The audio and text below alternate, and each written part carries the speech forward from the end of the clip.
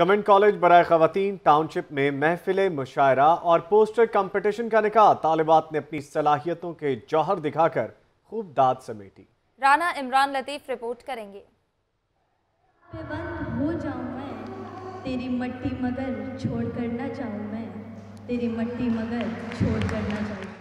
Government college برائے خواتین town شپ میں یوم پاکستان کی مناسبت سے محفل مشاعرہ اور پوسٹر کمپٹیشن کا انعقاد۔ شہر کے مختلف کالجز کی طالبات بھی شریک ہوئیں۔ طالبات نے جب سنائی شاعری تو اس میں وطن سے محبت کی خوشبو آئی۔ کوئی بھی انسان دنیا میں نہ ہوگا بے رحم۔ کوئی بھی انسان دنیا میں نہ ہوگا بے رحم۔ ہوگا انسانیت سے پیار اور ظلم چھٹ جائے۔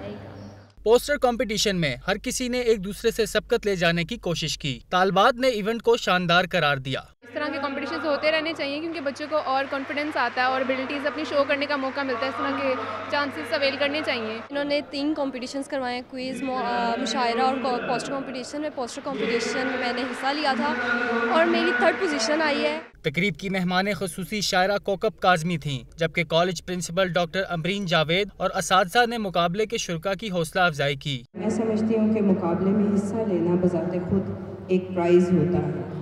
تو میں آپ سب اپنے لیے ایک بہت زبردست تالیاں بجا سکتے ہیں اسکول پرنسپل اور اساتذہ نے مقابلوں کے کامیاب انعقاد پر انتظامیہ کی کاوشوں کو سراہا۔ کیمرامین فائز نور کے ساتھ رانا عمران لطیف، لاہور نیوز۔